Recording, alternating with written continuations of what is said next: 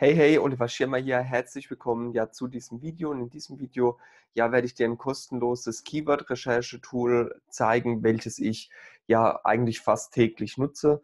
Und ähm, für meine ähm, Bedürfnisse reicht es absolut aus. Und ja, folg mir einfach auf den Bildschirm und dann zeige ich dir, um welches Tool es sich dabei handelt.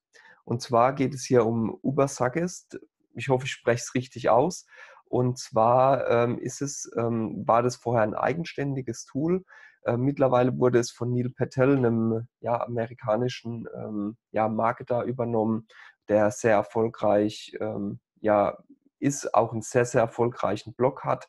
Und ja, und ich nutze dieses Tool ähm, super gerne. Wenn du auf den Blog kommst, ich schiebe mal kurz hier das hier weg, dass ich besser arbeiten kann. So, ähm, wenn du auf die Seite kommst, du kannst entweder über über suggest.org gehen, dann wirst du weitergeleitet auf neilpatel.com und ähm, landest dann auf dieser Startseite. Jetzt hast du hier noch die Möglichkeit, hier oben ähm, deinen, äh, die Nationalität auszuwählen, die Sprache hier ebenfalls. Und jetzt könnten wir einfach mal hier ähm, ja, ein Keyword eingeben. Nehmen wir einfach mal ähm, Friseur und machen einfach mal eine Suche. Nur damit du mal ein äh, Gespür für dieses Tool bekommst und was es alles so bietet. Und ich sehe jetzt hier sofort auf der ersten Übersicht, okay, Suchvolumen 450.000, ja. Ähm, hier unten sehe ich es nochmal etwas ähm, genauer. Also du siehst, hier oben ist die obere Grenze, ja, und ähm, der Durchschnitt ist dann eben halt diese 450.000. Ich habe sofort einen Überblick ähm, über den SEO-Schwierigkeitsgrad, wird mir angezeigt, okay, Schwierigkeitsgrad ist schon hoch und über den Keyword-Schwierigkeitsgrad, ähm, ja, im bezahlten Bereich ähm, hier einfach. Und ich sehe sofort, ähm, was mich ein, ein, ein Klick kosten würde, wenn ich eine Werbeanzeige schalte. Darunter sehe ich die ersten Keyword-Ideen. Ähm, du siehst hier auf der linken Seite auch nochmal die Rubrik Keyword-Ideen. Da kommst du drauf, wenn du hier draufklickst oder eben hier unten dir alle Keywords anzeigen lässt und hast hier so einen, einen, ja, einen ersten Eindruck. Und du siehst halt auch sofort, okay, wenn es hier grün ist, ja, dann ähm, ist es relativ einfach, ähm, dass du für diesen Suchbegriff ähm, ranken kannst. Genau, und dann siehst du hier unterhalb auch gleich ähm, die Suchmaschinenergebnisse, ähm, also die Anzeige ähm, bei den Suchmaschinen in der Reihenfolge. So hast du auch mal gleich einen groben Überblick, ähm, ja, was denn deine Konkurrenz so äh, mit diesem Keyword erzielt. Kannst dir hier dann auch alle ähm, SERP-Ergebnisse, also äh, Suchmaschinenergebnisse anzeigen lassen. Das geht hier rüber links ebenfalls. Genau. Ähm, gehen wir einfach mal hier rein in die Keyword-Ideen. So, und jetzt siehst du hier im Prinzip 869 Keyword-Ideen und du siehst hier oben, ähm, wenn du ähm, das, das, Keyword Friseur nimmst, ja, dann hast du hier ähm, ja, einen SEO-Schwierigkeitsgrad von 61 und du siehst auch hier kriegst du gleich ähm, angezeigt, ja, dass es ähm, eigentlich halt äh, schwierig ist ähm, zu, zu ranken und dass deine Wahrscheinlichkeit, dass du dort rankst, bei circa 39 Prozent liegt.